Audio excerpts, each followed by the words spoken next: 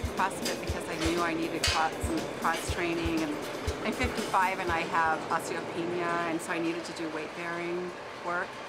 So I thought, well, I better, you know, work on that aspect of my fitness, you know, my health, my personal health. First time I did it, I thought, oh, I'll never make it. And I didn't even think I would like it that much because it was, it was really hard. It was a real push.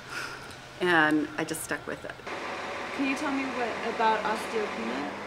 Um, it's uh, uh, early stages of osteoporosis. So it's kind of like when your bone mass is starting to um, lose its density. And So weight bearing helps because it, um, I guess like the, the movement helps release the calcium into your system to help bond your bones. I have to go and get it measured. I haven't done it yet, but I feel stronger. I mean, I, you don't feel like you, you know, it's not something that you feel, and osteopenia, they call it the silent killer of women, and so it's really important to, um, you know, load up on your um, calcium when you're younger and, you know, like build your bone because it's like a bank account, you know, and when you're younger, like up, I think until your mid 20s or maybe mid 20s or mid 30s, I can't remember.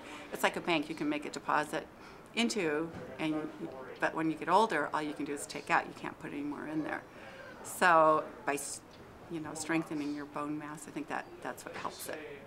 I just feel strong, and I never thought I was strong. I always thought I was not a strong person. I felt like, you know, I, I mean, I have good endurance. I always know I can, you know, I, I'm a cross country skier. You know, I can ski all day, and but I, I never thought I was. I never thought of myself as a strong person. Now I know I'm really strong. And then I, my husband, who runs and swims every day, and who's a really good athlete, um, he can't keep up with me doing any kind of CrossFit activity. So I feel pretty good about that. I just feel energized after I do it. No matter how hard it is, afterwards I feel energized. Like I'm